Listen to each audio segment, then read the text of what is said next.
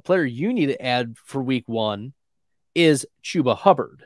You're like, wait a minute, Bradley. Chuba Hubbard, yeah, the former fourth round pick out of Oklahoma State, the veteran running back for the Carolina Panthers. And he's playing behind Miles Sanders, except he isn't. He's been splitting carries 50 50 all off season with Miles Sanders. Miles Sanders was dealing with with a groin strain in the off season.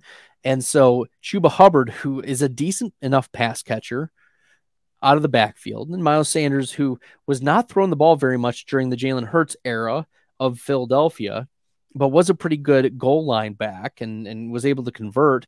Uh, Chuba Hubbard is one of those players that if you're in dire straits and need some running back help, he may be a, a player that is worthy of consideration. Looking at what he did last year, there were three games where Chuba Hubbard had at least 12 fantasy points, and he did that on 43% snaps, 38% snaps, and 48% snaps. So this was a player who was able to get you double digit fantasy points on less than 50% snaps. He wasn't getting majority of the share. So if you want some cheap points, consider Chuba Hubbard, who's going extremely late.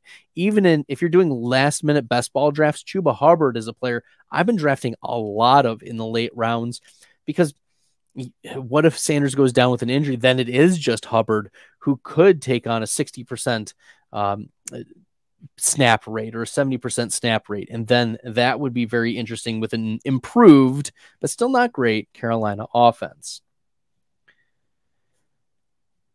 If you like the content, find this helpful, make sure you hit that red subscribe button on the YouTube channel.